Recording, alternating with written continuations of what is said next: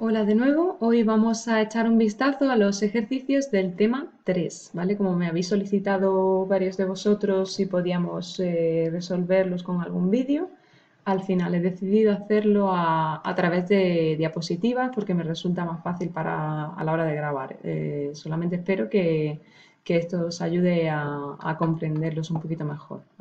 Entonces voy a comenzar con el ejercicio 3 de este tema, del tema 3 porque los ejercicios 1 y 2 ya los había resuelto José Luis Zofío, el profesor José Luis Zofío, en clase. Por lo tanto, el ejercicio 3, su enunciado decía, explique gráficamente qué pasará en una industria competitiva a largo plazo si las empresas a corto plazo obtienen beneficios negativos. Esto es algo que ya habíamos resuelto en las diapositivas del tema 3.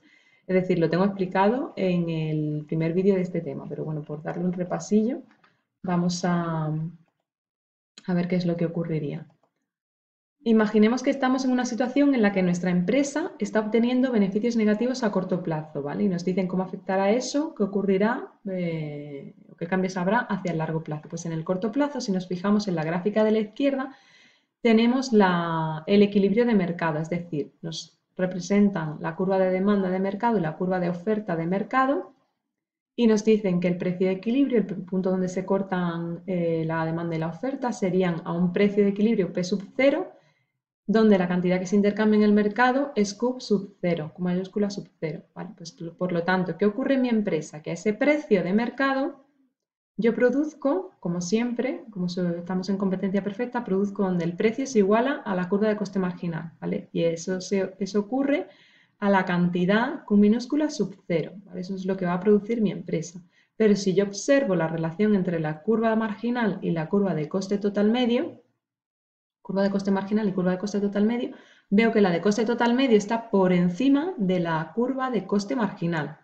¿Eso qué quiere decir? Quiere decir que a este precio, a P sub 0, yo no estoy cubriendo los costes totales de producir eh, lo que estoy produciendo. ¿vale? Por lo tanto, estoy obteniendo beneficios negativos representados por ese área lila que tenemos ahí. Por lo tanto, como en el corto plazo se están produciendo pérdidas, esto va a hacer que varias empresas eh, quieran salir del mercado para dejar de obtener esas pérdidas. Cuando las empresas salen del mercado, la curva de mercado de la oferta, en la gráfica de la izquierda, se desplaza hacia la izquierda. Es decir, están saliendo empresas del mercado, la curva de oferta se desplaza hacia la izquierda.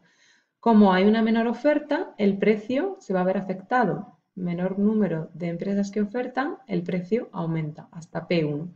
El nuevo punto de equilibrio donde se corta la nueva curva de oferta y la curva de demanda anterior, pues serían a ese precio de equilibrio P sub 1, donde la cantidad intercambiada en el mercado es una cantidad menor, porque hay menos empresas que ofrecen producto en este mercado. Es decir, pasamos de Q mayúscula sub 0 a Q mayúscula sub 1. ¿Y qué es lo que ocurre a ese precio? Bueno, ese precio lo hemos puesto como un precio final. Habría precios intermedios. Es decir, la curva se iría desplazando poco a poco hasta que llegara a ese punto. Y en ese punto es donde para nuestra empresa, a P sub 1, nuestra empresa, como vemos, iguala su coste marginal a la curva de coste total medio. Y en ese punto, como se igualan la curva de coste marginal y la de coste total medio, nuestro beneficio es nulo. Producimos una cantidad Q minúscula sub 1, ¿vale? A ese precio dado por el mercado. Eh, ¿Por qué nos movemos hasta aquí? Pues porque van saliendo empresas del mercado hasta que en el largo plazo volvemos a estar en equilibrio. Y el equilibrio en el largo plazo es cuando los beneficios son iguales a cero. Cuando lleguemos a un beneficio igual a cero, ya no va a haber ningún incentivo para que sigan saliendo empresas del mercado. Tampoco para que entren, porque no hay beneficios positivos. ¿Vale? Por lo tanto, como decíamos en la diapositiva, la oferta, la diapositiva de este tema 3. La oferta de mercado disminuye, el precio sube y las pérdidas disminuyen hasta un punto donde el beneficio es cero. Esta es la solución del ejercicio número 3. Ahora, si pasamos al ejercicio 4, nos dicen, suponga que el gobierno decide poner un impuesto sobre la producción en un mercado competitivo.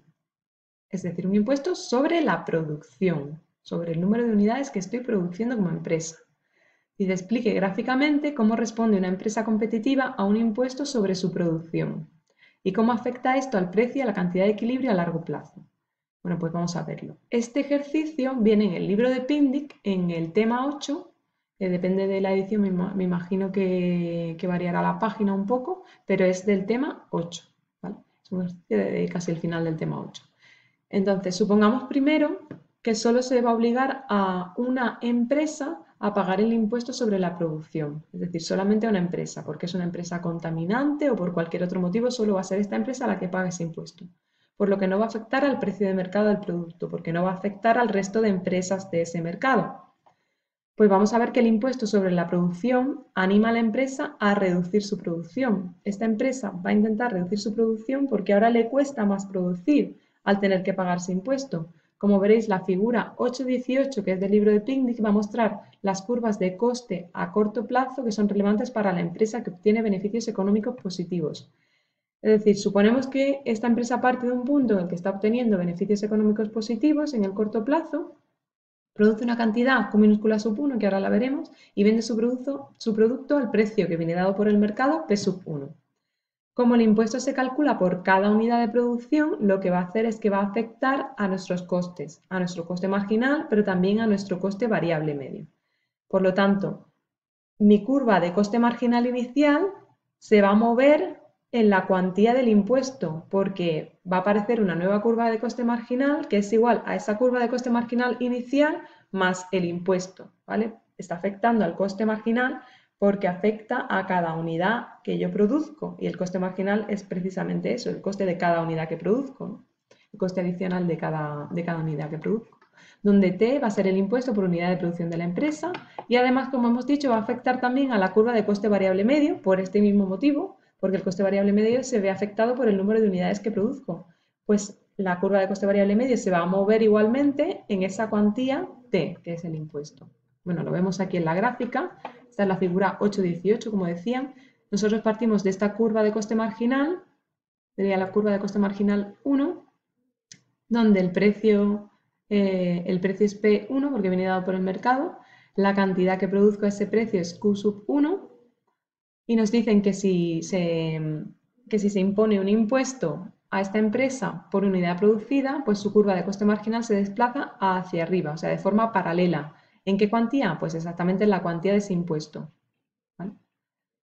Seguiríamos, vamos a suponer que este impuesto solo afecta a esa empresa, por lo tanto, no va a afectar al precio de mercado. Esta empresa tendrá que volver a buscar cuál es el punto donde su nueva curva de coste marginal coincide con ese precio que no ha cambiado en el mercado.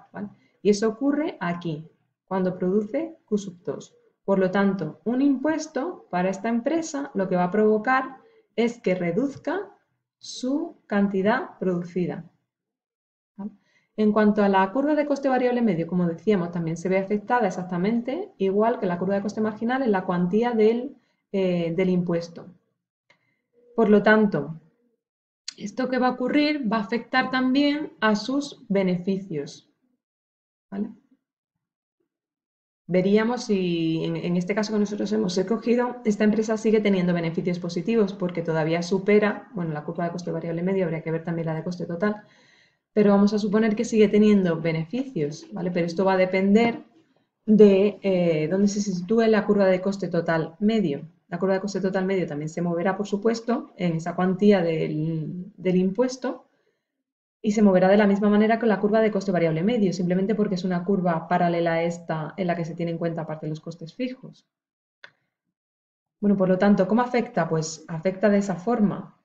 Por una parte, si la empresa aún puede obtener beneficio económico positivo, o nulo tras la introducción del impuesto va a maximizar sus beneficios eligiendo un nivel de producción en el que el coste marginal más el impuesto sea igual al precio del producto. Es decir, a ese nuevo coste marginal vuelve a elegir el punto donde se iguala al precio y esa es la cantidad que produce.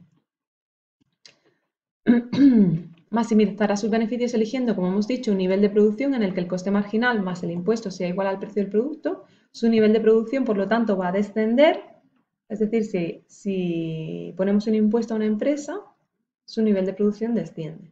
Y el efecto implícito del impuesto es un desplazamiento ascendente de su curva de oferta. ¿Qué quiere decir eso de un desplazamiento ascendente de su curva de oferta?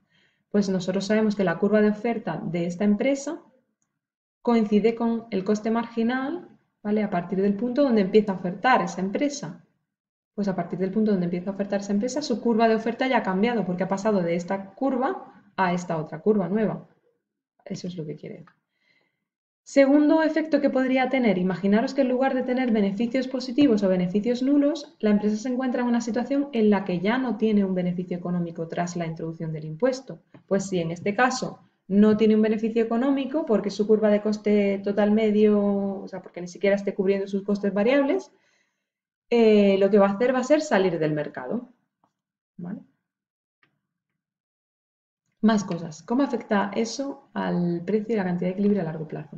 Bueno, vamos a suponer ahora un segundo caso. Hemos dicho que en un principio estaríamos eh, diciendo que solamente eh, el gobierno pone este impuesto a esta única empresa. ¿vale? Pero ahora vamos a suponer otro caso en el que el impuesto sobre la producción se establece para todas las empresas que operan en ese mercado, porque todas son contaminantes, porque quiero afectar a todas las empresas por algún motivo, ¿vale? Voy a regular todas las empresas que operan en esta industria. Todas van a pagar ese impuesto, todas tienen unos costes marginales crecientes y ¿qué es lo que va a ocurrir? Pues va a ocurrir esto que acabamos de explicar, pero para todas las empresas. Es decir, esta gráfica que habíamos puesto aquí, imaginaros que se cumple para todas las empresas. Pues esto ya sí va a afectar a la producción del mercado, ¿vale? ¿Por qué? Porque si todas las empresas empiezan a producir una cantidad menor, es decir, todas se pasan a Q sub 2 en lugar de ser solo una, pues eso se afectaría a lo que se produce en total en el mercado. ¿Cómo afectaría lo que se produce en total en el mercado? Eso quiere decir que la curva de oferta se va a desplazar hacia la izquierda en la cuantía del impuesto. Es decir, vamos a pasar de una curva S1, que ahora veréis en la gráfica, a una curva S2, que es igual a la anterior más el impuesto. ¿Y esto qué va a provocar? Pues va a provocar una subida del precio de mercado del producto, pero menor que la cuantía del impuesto. Pasaremos de P1 a P2. Esto es importante, que es menor que la cuantía del impuesto. Ahora veremos por qué. Eh, pasamos de esta curva de oferta inicial, como todas las empresas se ven afectadas por el impuesto, pues pasan a esta curva de oferta nueva. ¿vale? Este sería la cuantía del impuesto, esto que tenemos aquí, y este sería el nuevo precio. Como tenemos nuestra curva de demanda aquí, volvemos a buscar el equilibrio, el punto donde se corta la curva de demanda y la de oferta, y encontramos que el precio de equilibrio nuevo es P2 y la cantidad que se intercambia en el mercado es Q2.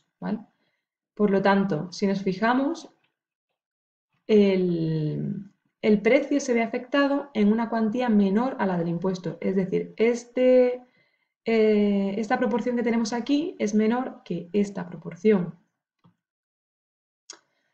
Con lo que quiere decir que como todas las empresas se ven afectadas, pues esa subida del precio del producto va a reducir algunos de los efectos que hemos descrito antes, es decir, algunos de los efectos esos que ocurren sobre nuestros costes como empresa.